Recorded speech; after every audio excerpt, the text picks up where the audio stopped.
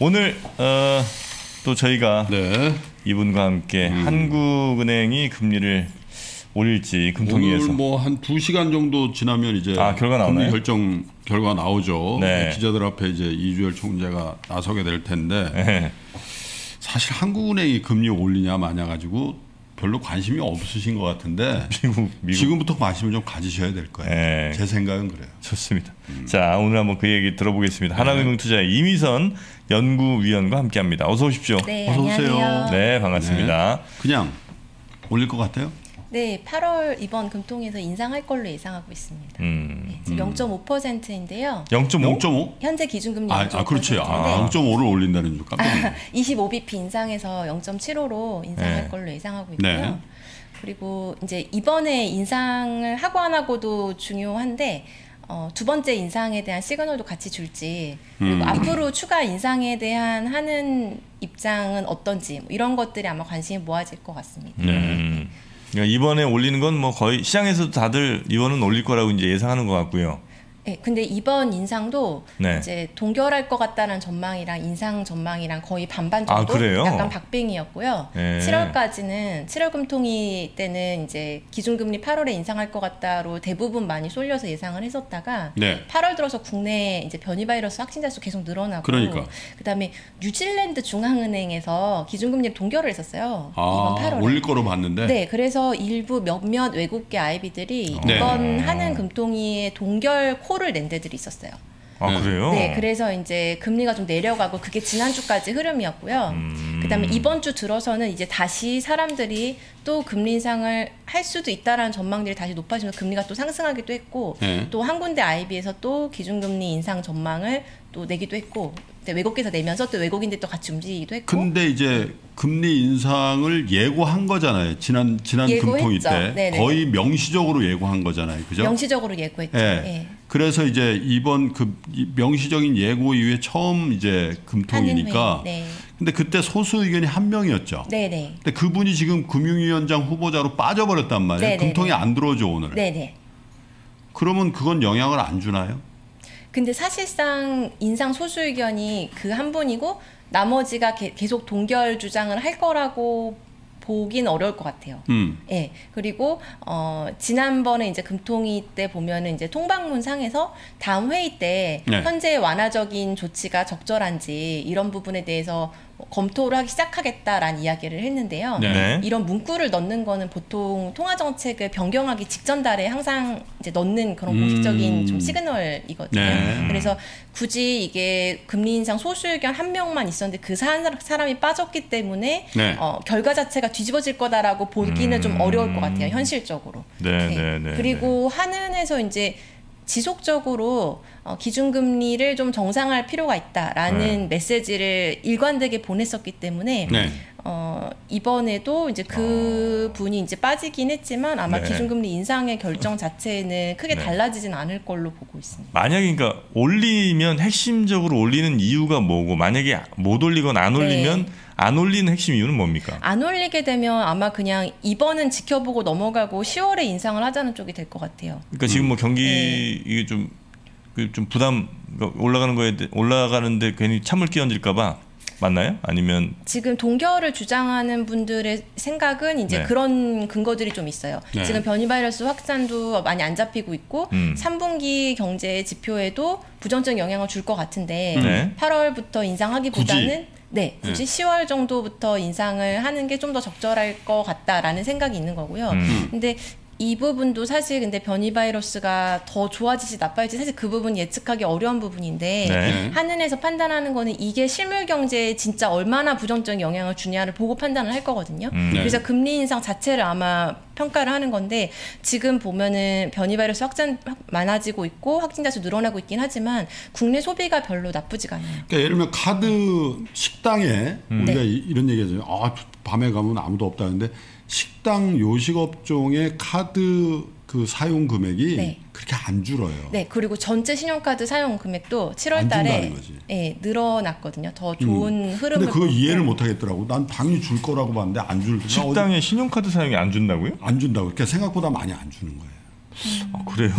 배달 배달 같은 아, 그러니까 전체적으로 모아 보면 그렇다는 거죠. 네, 전체적으로 음. 아. 모아놓은 신용카드 결제 이런 아. 것들은 계속 늘고 뭐 있고 그거는 그럴 수도 음. 있겠네요. 근데 네. 이거는 이제 굉장히 비싼 집들도 많아지고 음. 그다음에 배달하는 집들 그 양극화가 양극화가 그렇죠, 그렇죠. 일어나는 예. 것 같아요. 그리고 이제 여의도 같은 경우도 보니까 에, 세네 시에 네. 세네 시에 식당을 가서 뭐 음주를 아, 하는 분들 아. 그런 케이스들도 좀 있는 것 같아요. 네. 보니까. 그래서 좀 어려운 분들이 훨씬 더 아마 아니 근데 전체적으로 굉장히 많- 어려운데 텐데? 그분들은 어차피 매출이 크지 않았던 분들이 더 어려운 거예요. 음, 음, 그러니까 매출이 유지되고 있는 데들은 네. 더 집중이 되고 있고 음. 고액 그 요식업소 이런 데들이 있잖아요. 네.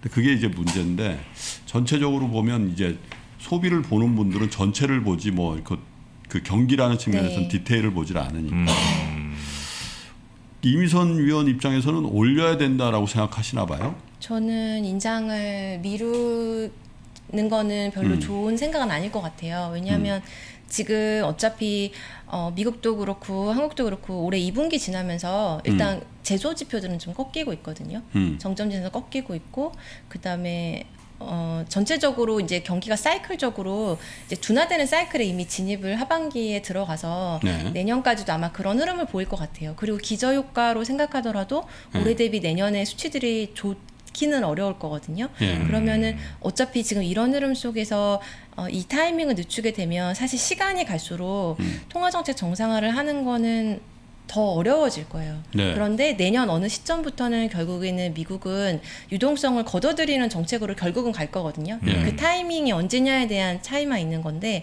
그러면 사실 우리나라 같은 입장에서는 어느 정도는 미리 좀 정상화해 놓을 필요는 있을 것 같아요. 왜냐하면 그때 가서 우리가 기준금리 전혀 인상을 안 하고 있다가 음, 음. 뒤늦게 쫓아가서 인상을 해야 되는 상황도 음. 어, 훨씬 더 어려운 상황이 될 수 있고 그다음에 일단 미국이 그렇게 유동성을 이제 줄이는 쪽으로 가면 이미 전 세계 금융시장이 흔들리고 있, 을 가능성이 높고요. 네. 예, 그 상황에서 우리가 기준금리까지 인상을 한다는 거는 훨씬 어려운 선택일 그러니까 거거든요. 미국이 테이퍼링 하고 있는데 우리가 금리 인상을 동반해서 하는 것보다는 미리 해놓고 숨을 좀 네. 도- 돌린 상태에서 그런 네. 상황을 맞, 맞닥뜨리는 게 네. 우리 금융시장을 위해서도 낫다. 더 낫다고 보고요. 그리고 어느 정도 레벨까지 인상을 하냐, 우리 경제가 감당할 만한 수준이냐가 사실 중요할 것 같아요. 네. 예, 그래서 우리 경제가 지금 어, 실질금리 개념으로 보면 예. 기준금리 지금 이제 시장에서는 한 1%까지 인상할 걸 가격에 반영은 하고 있거든요. 음. 두번 1%. 정도.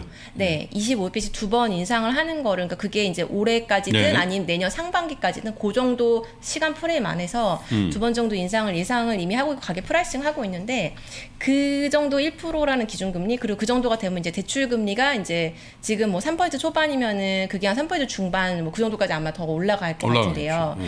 그 정도를 이제 우리 경제가 감당할 수 있냐 이런 판단이 필요한 건데 음. 어 이제 실질금리라는 개념으로 보면 이제 대출금리에서 물가 상승률을 뺀 게 이제 실질금리인데 지금 그게 이제 0%대이고요. 음, 음. 그리고 내년으로 가면 금리도 올리고 이제 하다 보면 아마 실질 금리가 이게 한 1%대로는 올라갈 거예요. 네. 예, 근데 실질 금리 1%대라는 수준은 역사적으로 봤을 때는 좀 낮은 수준이거든요. 그러니까 음. 실질금리 1%라는 게 어느 정도까지 경제 주체들이 감당하기에 부담스러운 수준이냐라는 거를 아마 봐야 될 거고 네. 이 부분이 실제로 부정적인 영향을 예. 받을 정도까지 인상이 되는 수준이라는 거는 제가 볼 때는 지금 경제 하에서는 한 2% 중반 정도 이상 실질금리 2% 중반. 기준으로 네 음. 그러니까 실질금리가 이제 대출금리 같은 명목금리에서 인플레이션 뺀 거거든요. 음. 예 아, 그러면은 기준금리 아 대출금 대출 금리를 보는 게 좋을 것 같아요. 대출 금리에 대한 어떤 실질 금리의 개념으로 보려면 네.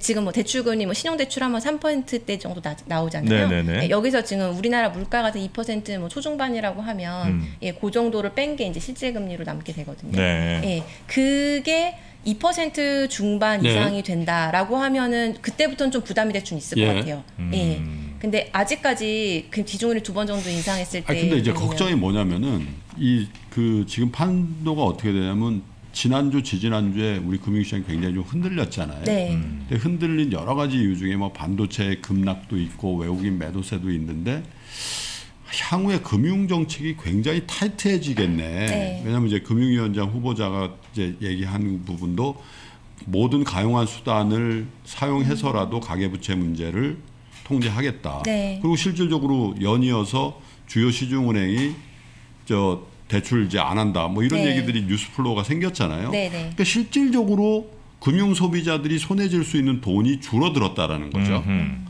근데 여기다가 이제 기준 금리까지 올려버리면 이자 부담도 커지고 도- 이자 부담은 예. 커지면서 실질적으로 더 돈이 필요한 사람은 돈을 못 갖게 되는 상황. 네. 그러면 이제 야 기본적으로 이거는 미국의 테이퍼링보다 훨씬 더 강한 예? 유동성 흡수잖아요. 실질적으로. 대출에 대한 제한 조치가 훨씬 더 유동성에 큰 영향을 줄 그렇겠죠. 거예요. 네. 그래서 기준금리 인상 사실 뭐 50bp 인상 뭐 이 정도 가지고 네. 이자 때문에 어떤 투자 결정을 보류하기는 가능성 적은 것 같고요. 음. 근데 지금처럼 이제 대출 자체를 총량을 제한하는 식으로 가면 네. 주식이든 부동산이든 신규로 들어갈 수 있는 자금이 이제 거의 줄어드는 거기 그렇죠. 때문에 가격을 올릴 수 있는 동력은 떨어지는 네. 거라서 저도 이게 대출 제한 조치가 훨씬 더 영향력은 큰 것 같아요. 기준금리 결정 자체보다는요. 근데 음. 어쨌든 지금은 그 두 개가 지금 결이 같이 가고 있고, 예, 금리 인상도 같이 그러니까 이제 그, 그 예. 동시에 그걸 그 카드를 동시에 썼을 때 네. 우리가 생각하는 것보다 훨씬 더 금융시장은 물론이고 경기에 주는 영향이 크게 작용할 수 있고 그리고 이제 예를 들면 내일 모레 이제 그 잭슨홀에서 뭔가 이제 나올 수도 있고 그게 이제 같이 와버리면 야 이거 너무 좀 한꺼번에 그 임팩트들을 다 맞아야 되는 거 아니냐 그래서 네. 예를 들면 에, 금융 정책으로 예를 들면 대출 규제라든지 이런 걸 해보고 그 다음에 가계부채에 대한 진작 효과, 저 어떤 이 그 억제 효과가 나오면 금리 수준은 조금 보면서 할 수도 있고 또 당장 미국 주식이 오르는 것도 테이퍼링의 시기도 변이 바이러스 때문에 조금 연장할 수도 있다라는 얘기가 나오고 있는 상황이잖아요. 네, 네. 그래서 이제 아까 이미선 연구위원이 걱정했던 그 시기가 조금 수년될 수 있다면 우리가 먼저 뭘 딱 해가지고 그런 부정적인 임팩트를 한꺼번에 맞아야 되나 그런 생각도 하는 분들이 있는 것 같아요. 아마 근데 그 기준금리 인상에 대한 결정을 미룰 가능성은 그렇게 크지는 않을 것 같아요. 아 무슨 네. 얘기 들으셨구나. 그럴 것 같고요. 근, 근데 어, 사실 그거보다 임팩트가 큰 거는 저도 음. 대출 제한 쪽이라고 생각을 해요. 예. 근데 지금 그거에 대한 부분은 정부가 결정하는 부분이거든요. 네. 한인의 결정이 아니고. 그렇죠. 예. 근데 지금 정부에서의 그 지금 방향을 보면 그 부분을 바꿀 것 같지는 아- 않은 것 같아요. 네. 예, 그러니까 부동산 규제를 강화해서 이제 부동산 시장 안정시키려는 여러 가지 노력들을 했는데 네. 지금 그것들이 다 계속 실패를 하다 보니까 네. 이제는 이제 마지막 수단 으로 이제 대출을 제한하는 수준까지 이제 가게 된 것 같고요. 예. 음. 어, 근데 이제 그 부정적인 여파들 네. 속에서 네. 그거를 조금 완화시켜 줄 거라고 생각하는 거는 정부에서의 확장 재정이 계속 이어진다라는 점이에요. 예. 그래서 예. 음. 네. 불편하셨는데 대단히 죄송합니다. 제가 제가 제가 대신 사과드리겠습니다. 현재 오피스텔 보일러 교체 작업으로 인하여 네. 아, 저희 오피스텔의 보일러 교체까지 여러분이 다 하셔야 되는 게 아닌데 아, 요즘 들어 유독 저 공지가 잦아지시는 것 같아요. 네. 저희가 이제 말년입니다. 저희가 사실은 내일까지만 이 스튜디오에서 여러분과 만나고요. 다음 주부터는 저희가 스튜디오를 옮기거든요. 근데 말년에 이게 아 저분 아무래도 3프로 TV 보시는 것 같아요. 한번 모셔야 되겠네. 내, 자기 방송 타려고. 내일 내일 내일 페어웰 뭐 하면서 뭐 한번 모셔서 한번 예? 아저 관리 보일러의 세계에 대해서 한번 들어볼까요? 나비엔 쓰세요 아니면 뭐 이렇게. 아 죄송합니다, 네. 위원님. 네. 그래서 이제 그래서 그래서 이제 내년에도 이제 확장적인 재정으로 갈 것 같고 네. 어, 올해 총 우리나라 정부 지출 쓴 게 한 605조 정도 되는데요. 예. 어, 내년에도 한 9% 8% 정도 증가한 정도의 확장 재정으로 가게 될 것 같아요. 예. 그럼 기본적으로 돈을 풀면서 가는 거고, 음. 예, 풀면서 가면서 대출을 규제하면서 금리를 인상하면서 이렇게 가는 이제 그림이거든요. 네네. 예, 그러면은 어, 일단 확장 재정을 깔고 가기 때문에 그 부정적인 영향이 완전히 이제 재정 자체가 어, 돈을 안 푸는 기조로 가거나 할때 어떤 어허. 맞닥뜨릴 수 있는 부정적인 영향은 좀 상쇄를 해줄 가능성이 있다고 봐요. 음, 그러니까 네. 이제 뭐 예를 들면 재난지원 지원금이라든지 이런 것들을 지원금도 있고 뭐 각종 뭐 새로운 신사업 한다면서 어. 정부 지출들이 막 풀릴 거잖아요. 음. 네. 어, 그런 것들이 어느 정도 사실 그런 게 깔고 가니까 음. 금리 인상도 추진할 수 있는 부분도 있을 거거든요. 네, 음, 네. 예. 이, 그렇군요. 이 게 부동산 관련해서도 좀 의지가 들어가 있는 겁니까? 아니면 그렇지는 않습니까? 들어가 있다고 완전 봐요. 거- 네. 이것 때문에 하는 거죠, 사실은. 부동산? 네. 그 부동산 가격 금리 올해 인상도 금융 상반기 불안정 얘기하는 거잖아요. 네, 올해 상반기 상승률이 작년보다도 더 높았거든요. 음. 그러니까 이게 지금 거의 지금 컨트롤이 안 되는 상황이라고 판단하는 네, 것 네, 같아요. 네. 음. 그럼 그 주식에는 영향을 어떻게 미칩니까? 주식은 제가 근데 주식은 네. 그 이제 대출 받아서 주식 하시는 분들이 이제 있으시잖아요. 네. 예, 그, 그 금리 이런 것들이 어떻게 움직일지를 봐야 될 것 같아요. 아, 주담보 대출이나 네. 신용 대출 같은 거. 네 네네네. 예. 예, 그런 것들이 좀 영향이 근데 기준 금리를 지금 두 번 정도 인상한 거 가지고는 그렇게 그 이자 자체에 영향이 있을까라는 생각은 좀 들어요. 네. 예, 음. 그리고 어 사실 그냥 주, 주가 자체가 좀 떨어지는 것 자체가 심리적으로 주시장 그냥 영향을 많이 주는 건데 네. 지금 이런 기준금리 인상 조치랑 어, 대출 규제를 좀 지금 막는 부분 음. 이런 부분들이 주시장에 직접적으로 어느 정도 부정적인 영향을 미칠지까지 우리 우리가 미국 금리 기준 금리 상그 올리는 것보다 선제적으로 한 적이 몇 번 있죠. 네네 그때는 어땠습니까? 금융시장 반응이. 우리가 2000 먼저 올렸을 때. 우리가 2010년 10년에. 7월에 처음 인상했거든요. 예. 그때 주식시장 좋았죠. 그렇죠. 예. 특별히 그렇게 막 나, 떨어지는 흐름은 아니었던 지금 것 골드만삭스에서 보고서를 낸 것도 어제 어제 나온 보고서도 이제 그 얘기거든요. 음. 금융시장 우리나라 기업의 실적 추이를 봤을 때 한국은행에서 두 번 금리 올릴 것 같은데 8월 11월 올릴 음. 것 같은데 2010년의 경우에도 선제적으로 올렸을 때 네. 그 주시장이 나쁘지 않았다. 네. 그런 얘기를 이제 하는 거예요. 네. 그래서 사실은 뭐 신용 쓰고 주택담보, 아, 주식담보대출 받으신 분들 입장에서는 그건 뭐 25bp, 30bp 사실 큰 의미를 크게 의미를 부여하지 않죠. 그렇죠. 예. 예, 어차피 내가 할 거냐 말 거냐 네. 이런 거고. 예, 예. 예. 그렇군요. 부동산에는 영향을 줍니까? 그러면? 부동산에는 영향을 더 주겠죠. 25bp인데 부동산도 사실 대출 총량 규제 쪽이 더 영향이 있지 않을까 싶어요, 저는. 같이 오니까 예, 총량 같이, 규제와 예. 금리 인상이 같이 되면 예. 근데 이제 맞아요. 근데 금리 부분도 어, 실질적으로 이자 부담 때문에 부동산 투자를 재고해야겠다라는 수준까지 가려면 음, 이 정도 인상보다는 더 많은 인상이 사실 좀 필요할 것 같아요. 음. 예. 그 국제 이제 우리 우리 우리 금리는 이제 좀 있으면 나오는데 미국 채금리는 지금 방향이 어떻습니까? 네. 지난번에 2.1대, 2.2대까지 굉장히 급, 아 1.1대까지 네, 1.1 급하게. 빠졌다가 네. 다시 조금 리바운드 한 건데 네. 사실 지난번에 금리 상승기에 뭐 2.5% 3% 얘기하는 네. 분들도 꽤 있었다는 네, 말이죠. 네, 네. 지금은 거의 물 건너 간 거로 봐야죠. 그렇죠. 지금 올해 연말 예상되는 금리 수준만 해도 예.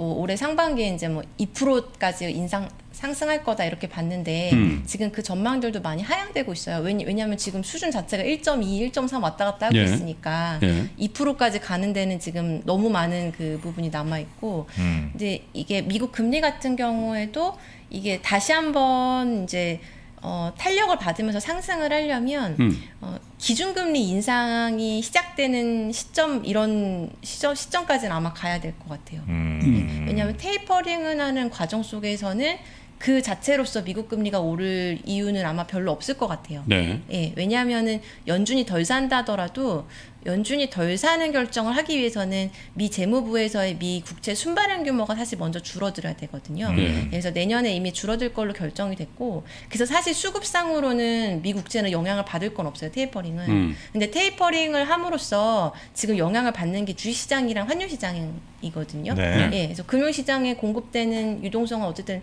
조금씩 조금씩 조금씩 줄여가는 거니까요. 네. 그래서 지금 1,200억 달러씩 매입하고 있는데 내년 1월부터 8월까지 만약에 이제 10%씩 줄여가지고 뭐 10개월에 걸쳐서 그거를 끝낸다. 뭐 이제 만약에 그렇게 1월부터 10월까지 한다고 하면 어, 이제 공급되는 유동성이 올해 대비해서 내년에 한 40% 정도 감소할 거예요. 네. 예, 연준이 사주는 규모가. 예, 그러면은 어, 미국 주시장이 그러한 신규 유동성 공급이 감소되는 상황 속에서도 그것을 다 어, 이겨낼 만큼의 어떤 이익의 성장과 스스로의 펀더멘털 개선이 있을 수 있냐 이제 이런 거를 이제 음, 테스트 받게 되는 시기가 되는 거죠. 네. 예, 그래서 테이퍼링 이슈는 아마 주식시장이 조금 더 민감한 이슈이고 금리 쪽에는 그렇게 영향을 주지는 않을 것 같아요. 음. 미국, 그 미국 금리가 오르려면은 기준금리 인상이 좀 이제 시작한다라는 시점 정도부터 그러니까 테이퍼링 스케줄은 대부분 지금 금리에 녹아져 있다라고 보시는 거군요. 네, 네. 그 미국의 국채 발행이 순감합니까 내년에? 내년에 미국채 순발행 한 9천억 달러 정도 줄어들 걸로 그렇게 예상되고 있어요. 아 그래요? 예, 왜냐하면 올해 워낙 많이 지출을 했고 네. 그럼 내년에도 얼마를 지출을 해야 되냐 했을 때 올해 뭐 워낙 백신과 관련된 지출 뭐 일시적인 것들 많았었기 때문에 예. 그런 거를 제하면은 내년에는 이제 국채 발행이 줄어드는 쪽이거든요. 그 말씀을 테이퍼링으로 이제 돈 푸는 양을 줄이니까 네. 줄이니까 지금까지 그 예를 들어 1,200억 달러 중에 800억 달러를 지금 그 국채 사는 거잖아요. 네, 네. 그 그걸로 딱 스퀘어가 맞춰져 있는데 네. 국채 발행 순감과 테이퍼링의 에, 밸런스가 맞으면 네. 국채 수요와 공급에서 결정되는 국채 수익률에 주는 테이퍼링의 영향은 없다. 맞아요. 예. 이렇게 보는 거군요. 네, 오히려 춘발행 감소하는 영향이 좀 더 커요. 아, 그러면 국채 가격이 더 그래서 올라갈 금리가 가능성. 내려갔어요. 아, 예. 네. 그래서 테이퍼링해서 연준이 안 사더라도 지금 금리는 오르지를 않는 거죠. 음. 네.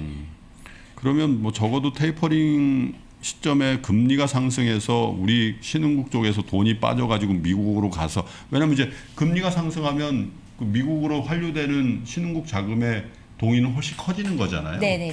근데 그럴 가능성에 대해서는 크게 걱정 안 해도 된다는 얘기일 수 그런데 있겠네요. 환율 입장에서는 어, 달러 공급되는 게 줄어드는 거라서 예. 달러 강세 요인으로 작용을 할 것 같아요. 음. 그리고 이제까지 늘 그렇게 작용은 했었어요. 음. 연준이 자산 매입을 멈추고 줄여가고 더 이상 안 사는 단계. 음. 그 단계들이 이제 어, 2011년 하반기 그리고 2015년부터 2016년 그때 기간이었거든요. 네. 예, 그러다가 이제 2013년에는 그냥 다시 QE를 재개를 했고 음. 2017년에는 실제로 정말 테이퍼링을 쭉 하다가 이제 네. 금리사까지 이제 갔던 그런 케이스였는데 네. 그 기간에 이제 환율은 달러는 강세, 이제 통한 약세. 음. 예, 그래서 이제 환율 시장은 영향을 받았었던 것이고요. 음. 예. 지금도 마찬가지 반응이 나타나고 있는 것 같아요. 네네. 지난주 지지난주에 그런 영향이었다라고 보시는 건가요? 네, 환율이 올랐던 것도. 네, 네, 네. 음 그렇군요. 근데 이제 그때 이제 한국은행이 오늘 포함해서 금리를 올려주면은 그런 영향을 좀 상쇄시킬 수 있. 상쇄시킬 걸로 네 예상합니다. 예. 음, 환율 안정에는 도움이 된다. 네, 지금 그 가계 부채가 심각합니까? 가계부채 증가율 수준으로 따지면은 올해 들어서는 한 10% 정도씩 전년 대비 늘었는데요. 네. 음. 어, 이거가 어느 정도 증가율이 적절한가라고 보면은 전체 경제 사이즈 늘어나는 거랑 비교를 하면 될 것 같은데요. 음. 우리나라 명목 GDP가 전체적으로 얼마나 늘어나고 있는가 그거랑 비슷하게 사실 대출도 가는 게 정상적인 거일 그러겠죠. 텐데요. 네. 보면은 그 수준보다는 훨씬 대출이 빠르게 빨라요? 늘고 있- 음. 있어요. 음. 예, 그러면은 어 아무래도 이거를 뭐 감당하기가 어려운 수준으로 이제 방향성을 가고 있는 거라서 음. 좀 제어할 필요성은 분명히 정책 당국들은 근데 이제 그것도 중요하지만은 코로나라는 특수한 상황이 벌어졌기 때문에 네. 세계 각국의 가계부채 증가율과 맞아요. 우리 예. 증가율도 예, 비교해서. 봐야 되겠죠. 네, 예. 그, 그렇게 비교해서 보면 우리나라가 얼마나 심각해요? 비교해서 보더라도 국내 가계 대출 증가율이 빠른 속도인 거는 맞아요. 음. 예, 근데 그게 부동산 가격 그 상승한 영향도 아마 있었을 거예요. 음. 예, 그게 전세도 오르고 매매도 오르고 하니까 우리가 다 그런 부동산 관련 것들이 다 대출이다 보니까 음. 아마 같이 다 늘었을 거고요. 다른 나라랑 비교해도 속도는 빠른 편인 거는 이제 맞고요. 아. 예, 그리고 이제 코로나란 특수 상황 때문에 대출이 좀 빠른 속도로 늘어나는 거에 대해서 용인을 하고 갔던 게 이제 작년까지의 그렇죠. 흐름이었어요. 예, 근데 예. 이제 올해는 어, 어느 정도 경제가 좀 회복이 됐고 주식도 회복이 됐고 거의 회복은 지금 된 상황이니까 네. 여전히 이 정도의 높은 증가율을 어, 용인하면서 가야 되냐라는 정책 당국들의 고민이 있는 것 같아요. 음. 예. 가계부채 문제가 참 심각하긴 한데 네. 기본적으로 전체 국가의 부중에 정부, 기업, 가계가 어떻게 나누냐가 사실 가계부채 주는 영향이 가장 큰 거잖아요. 음. 가계 수입이라는 게 기업의 수입이라든지 정부의 수입에 비교해서 상대적으로 주니까 네. 그 줄어든 부분을 이제 부채로 메꾼 거다 이렇게 볼 수도 지금까지. 그렇게 본 거죠. 그렇게 봐야 되는 네, 거죠. 그렇게 봐야죠. 예. 그래서 어떻게 하면 효율적으로 가계가 부채를 일으키지 부채를. 증가시키지 않아도 예? 음. 예, 소비를 여, 여하히 할 수 있는 그 구조를 만드는 게 중요한데 금리 올리고 그게 이제 부동산 게 안정을 네. 그 중에 하나라고 본 게 아닐까 싶어요. 예, 대출 늘어난 거의 원인 중에 하나가 예, 그쪽에 너, 너무 부동산 가격 묶이니까 상승세니까요. 예. 그래요. 어쨌든 금리는 올라가는 겁니다. 오늘 네, 기준은 인상하는 열- 겁니다. 너무 당일날 아침부터 막 전망을 너무 해야 가혹하죠. 어, 두 시간 안쪽에 바로 결론 나니까요. 요 정도 되면 정프로가 도발을 하는데 원래 저는 아니라고 봅니다. 원래 나와야 되는데 워낙 이제 카리스마에 눌린 것 같은데. 아, 증 아, 금리는 아, 저도 우리 연구원님 따라가겠습니다. 올리는 걸로 가겠습니다. 저는 올린다고 보는데 다만 코멘트는 그렇게 강한 코멘트가 나올 가능성은 적지 않겠나. 음, 네. 올리지만 네, 에, 바로 또 올리겠다라는 그런 코멘트보다는 네, 에, 경제 여건을 좀 보겠습니다. 네. 이렇게 나오지 않을까. 네. 음, 그 부분에 대해서도 의견들이 많이 이제 음. 예, 갈리고 있는 것 같습니다. 음. 그래요. 감사합니다. 네. 자 오늘 아, 이제 금통위가 예. 있는데요. 어, 어떤 이야기들이 나오고 또 어떤 영향이 있을지 하나금융투자의 이미선 연구위원과 함께 알아봤습니다. 자 오늘 아침 시간 함께 해 주셔서 대단히 고맙습니다. 감사합니다. 네. 자 저희는 이제 염블리 염승환 이사 만나러 가겠습니다. 무더운 여름 바캉스 대신 함께 공부해 보는 거 어떤가요? 무더위를 한 번에 날려줄 cool summer 여름 특가 반값 세일 박병창의 매매 기술을 염블리의 친절한 주식 기초 교육을 신규 구매하시면 평소 듣고 싶던 강의를 50% 50% 할인된 가격에 수강하실 수 있습니다. 네이버에서 페이지 2를 검색하세요.